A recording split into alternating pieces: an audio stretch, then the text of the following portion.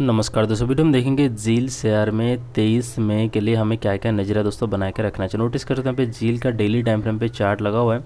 Stock आपको यहाँ से एक डाउन ट्रेंड में कंटिन्यू करता आपको अभी देखने को मिल रहा है। जब इस स्टॉक अपना यहाँ से अपना ट्रेंड का ब्रेकआउट करेगा, तभी जाके एक अच्छी मूवमेंट आपको ऊपर की साइड में देखने को मिलेगा। तो अभी के लिए आपको रेसेंस लाइन वन का देखने को मिल रहा है। जब इसका ब्रेकआउट होगा तो फिर रहेगा दो सौ उन्नीस का। सपोर्ट लाइन दोस्तों आपको देखने को मिल रहा है वन का।